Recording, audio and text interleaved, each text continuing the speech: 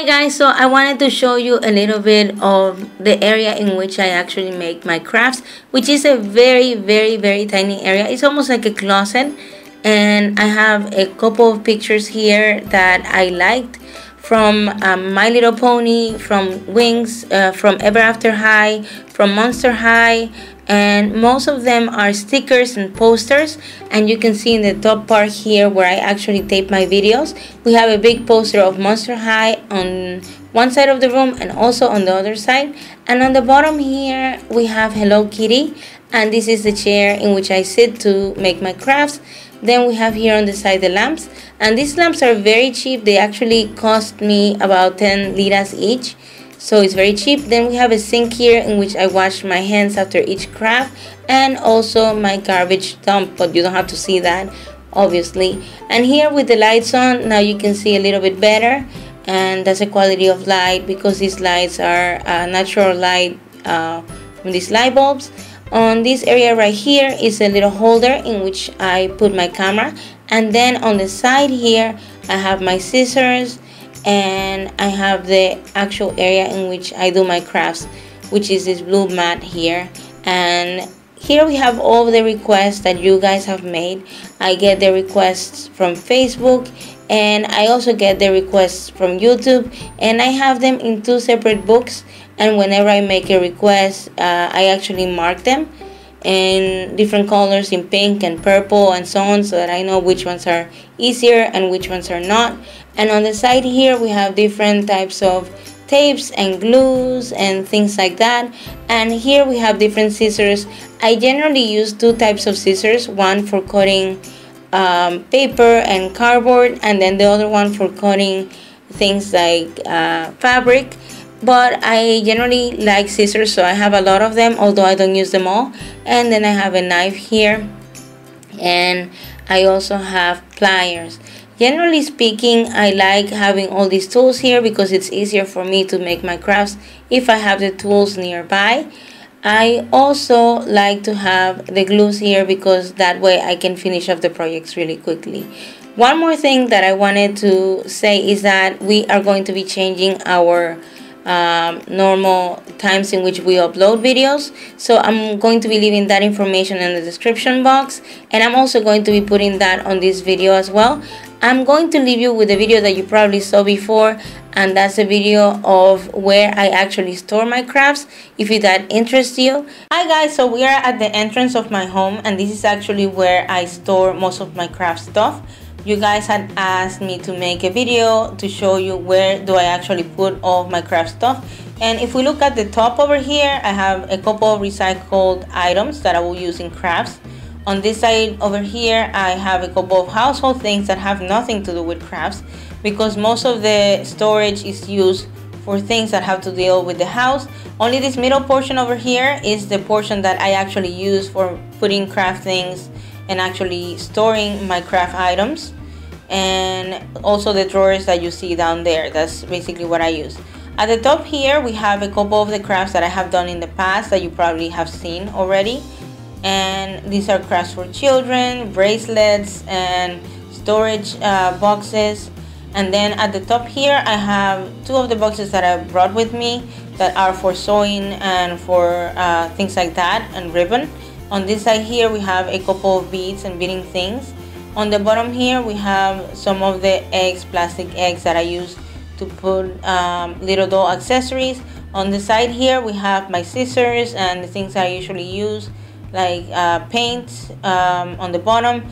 We have a couple of tools and then we have the nail art and the glitter. We also have a couple of hole punchers that are shape punchers actually and also my clay stuff. And on this side we have all the things that have to deal with glue and little plastic gems. And basically that's what I have. I brought most of the stuff together with me from New York so that's basically where I got all this. I got a couple of things here in Turkey and as you can see on the side here is just our closet for putting our jackets and our coats on the bottom here is for shoes so there there is an empty spot over here and there are more empty spots on this side because this particular piece of furniture is used for storage and I am basically using the middle for the craft stuff. We have paper here and cardboard. We have a felt on this drawer. On the bottom drawer here we have a couple of foam um, in different colors and shapes. And then on this side I have little cutouts from magazines, things that I have recycled uh, from newspapers and circulars, as well as printables that I have made, and a couple of stickers. On the top here we have a couple of scrapbooking papers and uh, glittery paper. And all the way at the top here I have a couple of the crafts that have been given to me as gifts by people here in Turkey and basically this is my little craft area where I actually put all of my craft stuff. As you can see here I don't have much but whatever I do have I use. And I actually brought it with me from New York when I moved here to Turkey.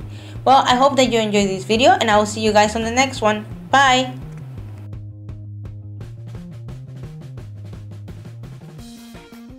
Hi guys, this is a video by request and I will be showing you where I put all my doll beds as well as my doll house. And we will start by the doll beds. And now we have here the bed for Deuce.